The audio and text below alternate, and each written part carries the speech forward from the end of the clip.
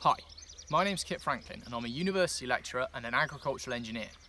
Engineers are professional problem solvers and agricultural engineers specialise in developing solutions to help farmers.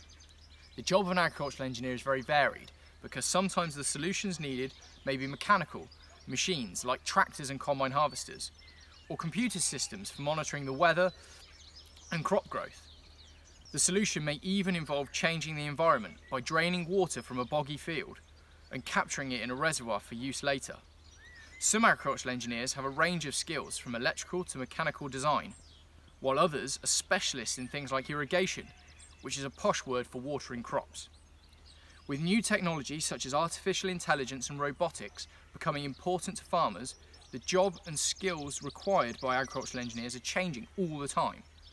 What is important and makes agricultural engineers special is they need to have a good understanding of agriculture and farming requirements. Agriculture has some big challenges to face. Feeding a growing world population and working to overcome climate change. So the role of an agricultural engineer has never been so critical. If you have an interest in how things work and making things better, then you would make a great engineer. At school you should study hard in subjects like science, maths and design, although having big ideas and lots of imagination is just as important. As a lecturer, I teach and guide students during their studies to become agricultural engineers. Sometimes I have to stand and speak to a big room of students. Other times I talk to students individually to help them with their own challenging projects. In the last few months, I've been keeping in contact with my students over video calls while they work from home. I love my job as I get to inspire students and sometimes farmers or even politicians when I speak at big events and conferences. The part of the job which I do not like is marking all the student work at the end of the year. As a university lecturer, I also get to conduct research where we try and test new ideas.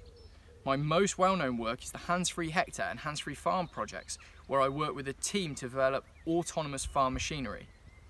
We use our autonomous machinery and information captured by flying drones to grow crops as efficiently and sustainably as possible. The project is very challenging and hard work at times, but we hope it gives an exciting glimpse into what the future of farming may look like. So if what I've said has interested you, maybe you'd make a great agricultural engineer of the future, helping farmers to feed a growing population.